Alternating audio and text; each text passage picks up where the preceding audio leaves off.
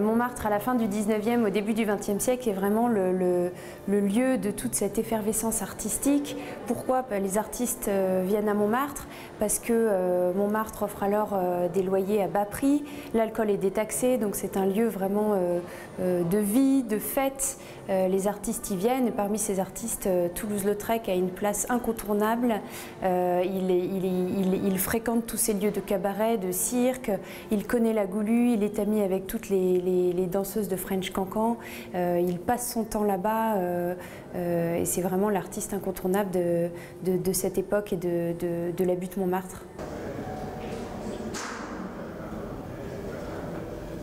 You just walk down the streets of Paris and you saw posters such as this on the wall.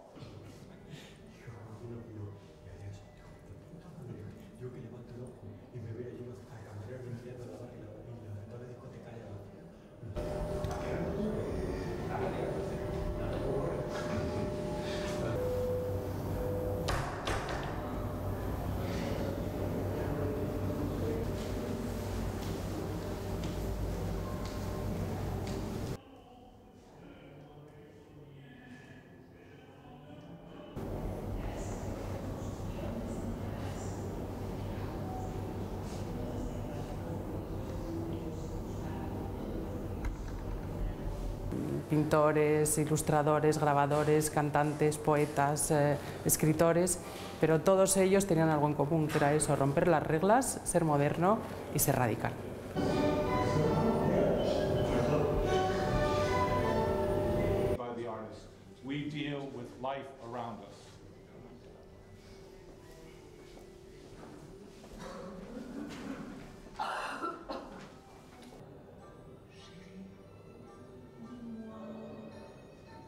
And young artists were looking for a new way to be independent, not to rely on the academic standards and the academic institutions of before. They found at the Chat Noir Cabaret, which was founded in 1881, a home where they could go to and, in, and find friends who were writers and musicians, and they could collaborate with them and create new forms of art which were going against the standard traditional uh, forms of art and literature and music in France.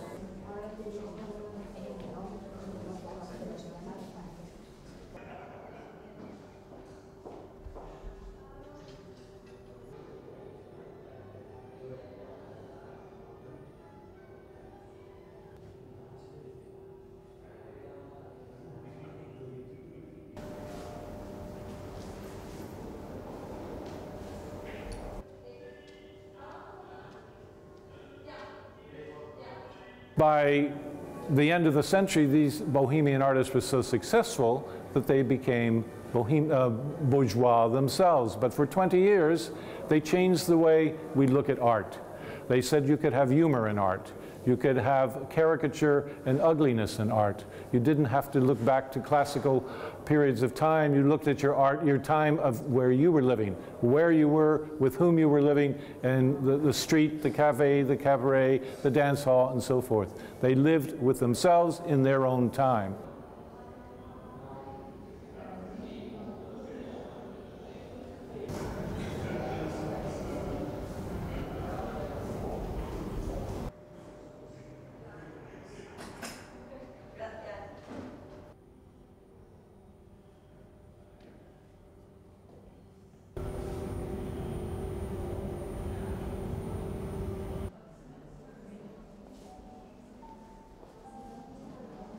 Can only give you an idea with the zincs and so forth of the aesthetic effect.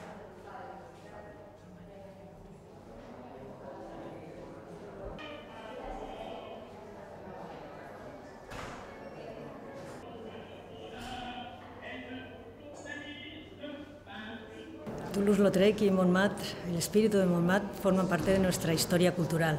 Es un momento importantísimo en la historia del arte, ese final del siglo XIX y principio del siglo XX, donde hay esa explosión de, libertades, de complicidades y de búsqueda de, los aspectos eh, más eh, sociales, más allá de los academicistas.